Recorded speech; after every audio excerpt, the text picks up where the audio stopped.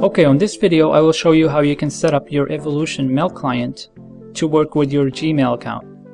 And we're going to do this using the IMAP protocol.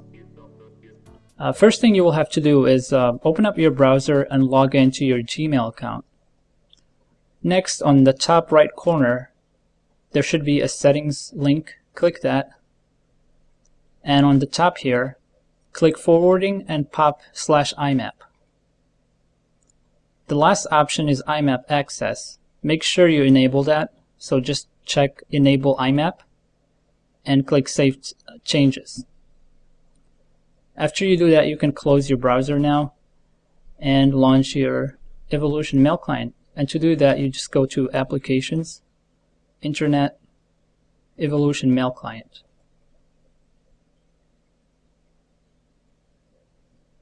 And then you click Forward forward again. And here you type your name and your email address.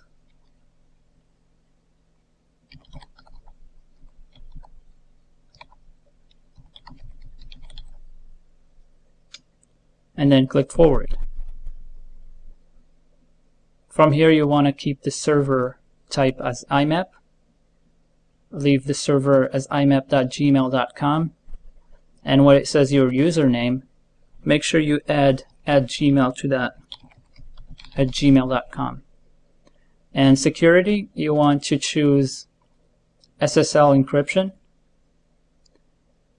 and uh, leave this as, as password. And if you don't want it to prompt you every time you use it for the password, you can check this.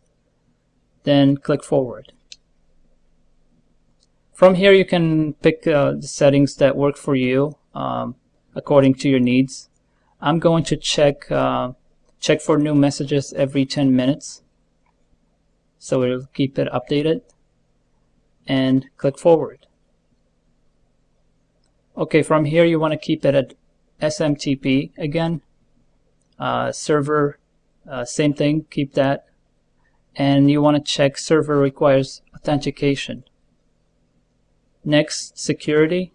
You want to pick SSL encryption and the type you want to pick login and where it says your username add add gmail.com to that as well.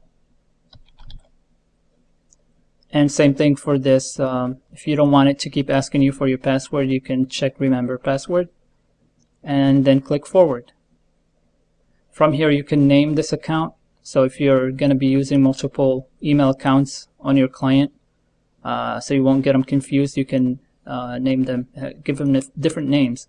What I'm going to do is uh, just leave it as the email address and then I'll click forward and apply.